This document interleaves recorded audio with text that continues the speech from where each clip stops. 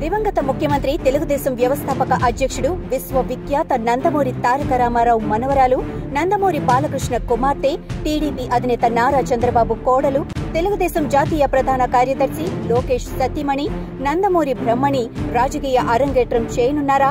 అంటే రాజకీయ వర్గాల నుండి అవుననే సమాధానం వస్తోంది. వచ్చే ఎన్నికలలో నారా బ్రహ్మణి రాజకీయ అరంగేట్రం చేసే అవకాశాలే మెండుగా ఉన్నాయని అంటున్నారు. ఆమె రాజకీయ ప్రవేశంపై నారా నందమూరి కుటుంబాలతో పాటు తెలుగుదేశం పార్టీలో చర్చలు జరుగుతున్నాయని పార్టీ వర్గాలే చెబుతున్నాయి.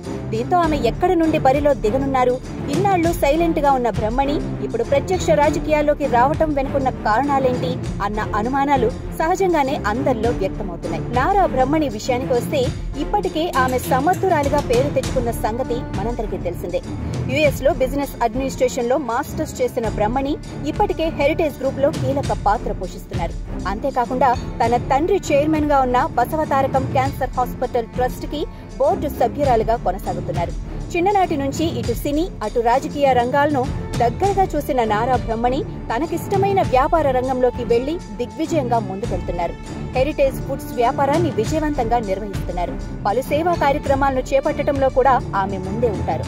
హెరిటేజ్ సంస్థలో పనిచేస్తున్న పేద కార్మికుల పిల్లల చదువు కోసం ఆమె ఎంతో తప్పిస్తారని ఆ సంస్థ ఉద్యోగులే చెప్తారు. ఆమె సమర్థతకి నిదర్శనమే అప్పటికే లాభాలలో ఉన్న హెరిటేజ్ సంస్థను ప్రపంచవ్యాప్తంగా విస్తరిస్తూ ముందుకెళ్ళడం కాగా ఇప్పుడు ఆమె రాజకీయాలలో కూడా అరంగేట్రం చేయనున్నారని అంటున్నారు.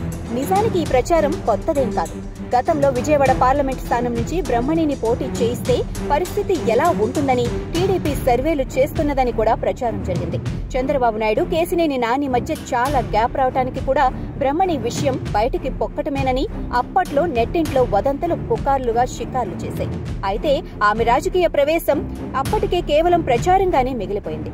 ఇప్పుడు మరోసారి బ్రహ్మణి రాజకీయాల్లోకి రానున్నారని అది కూడా అసెంబ్లీకి పోటీ చేయనున్నారని ప్రచారం మొదలైంది. తన తండ్రి నందమూరి బాలకృష్ణ ప్రాతినిధ్యం వహిస్తున్న హిందూపురం నుంచే రెండు వేల ఇరవై నాలుగు ఎన్నికల్లో బ్రహ్మణి పోటీ చేయవచ్చని ఇప్పుడు రాజకీయ వర్గాలలో జరుగుతున్న చర్చ. హిందూపురం అసెంబ్లీ నియోజకవర్గం ఏర్పాటయ్యాక ఇప్పటి వరకు అంతా పురుష ఎమ్మెల్యేలే ఉన్నారు. మహిళలు పోటీ చేసినా గెలవలేదు. ప్రధాన రాజకీయ పార్టీలు కూడా మహిళలకు ఇక్కడ టికెట్ ఇవ్వటం లేదు. అందుకే ఈసారి వైసీపీ ఈ మహిళా సెంటిమెంట్ అస్త్రాన్ని వాడుకోవాలని చూస్తోంది.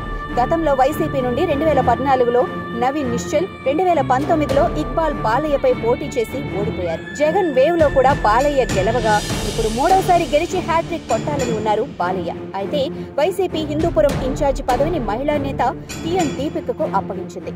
దీంతో తెలుగుదేశం కూడా ఇక్కడ మహిళా నేతని బరిలోకి దింపాలని భావిస్తున్నదని తెలుగుదేశం వర్గాలు చెబుతున్నాయి. ఇందుకు నారా బ్రహ్మణి బెస్ట్ ఆప్షన్గా తెలుగుదేశం నిర్ణయించిందని ప్రచారం జరుగుతోంది అంతకు ముందు తన తాత ఆ తర్వాత తన తండ్రి ప్రాతినిధ్యం వహించిన నియోజకవర్గంలో ఇప్పుడు కుమార్తె పోటీకి దిగటం మంచి పరిణామమే అవుతుందని టీడీపీ నేతలు భావిస్తున్నట్లుగా తెలుస్తోంది.